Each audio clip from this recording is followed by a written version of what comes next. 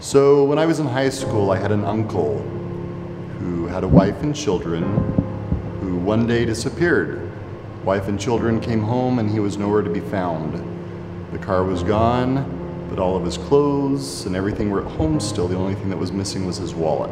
They filed a police report. No one ever found him. We assumed he was dead. When I was over in Europe, I received a letter from my mother saying that he had come home.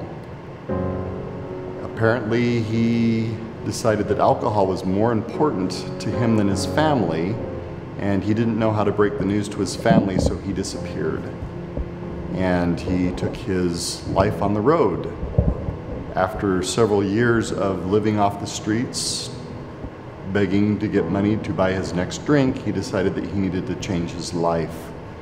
So he came back home to find that his wife had remarried and they really didn't want him to be a part of their life. So he went back to my mom and the rest of his siblings and they helped him get into an Alcoholics Anonymous program and he was able to get his life cleaned up. Shortly after he started the program, they found a job and an apartment for him and he was doing very well.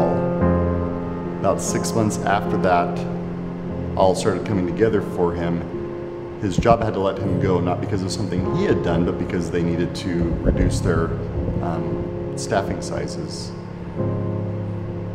He called somebody and let them know that he'd been let go, and that was the last anybody heard from him when he was alive. A couple of days later, the family member hadn't heard from him, so they went to his apartment and they had to have the superintendent of the building let him in to the apartment, and they found him dead, and he'd been dead for a couple of days. And next to him was a bottle of very strong alcohol. All we can figure is when he had gotten laid off, he had walked home, and on the way home, he ran by the state liquor store and bought a bottle of very powerful alcohol. And it shocked, the shock to his system was so great because he hadn't had a drink for so long that it killed him. It's not worth it.